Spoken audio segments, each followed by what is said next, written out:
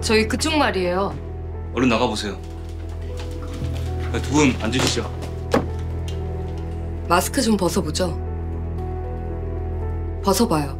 최 팀장, 그만해. 확인하고 싶은 게 있어서 그래요. 자꾸 눈에 거슬리는 게 이상해서. 어서요.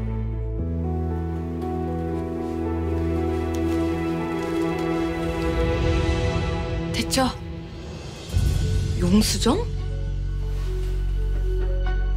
당신 제정신이야? 죄송합니다, 사장님. 다 사정이 있었어요. 무슨 사정? 저랑 따로 말씀 나누시죠. 제가 설명해 드릴게요.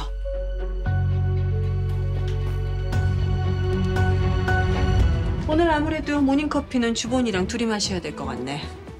아, 사장님, 해고된 것 때문에 그러는 것 같은데 굳이 시간 쓰실 필요 있을까요? 얘기 들어보면 알겠지. 내 방으로 와요.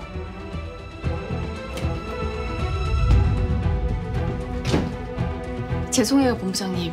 여긴 제가 다시 금방 치우러 오겠습니다.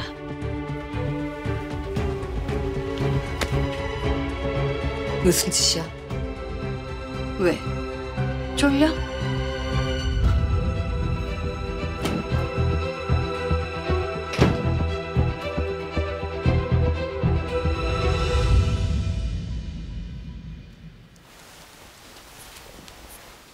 그래. 나한테 할 말이 뭘까? 저 그림이요. 어, 그리고 보니까 어제도 저 그림을 보고 있던 것 같던데? 저희 어머니 그림이에요.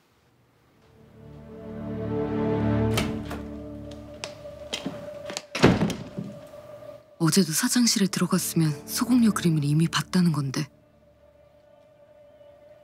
아, 대체 어디까지 기억하고 있는 거야, 용수정?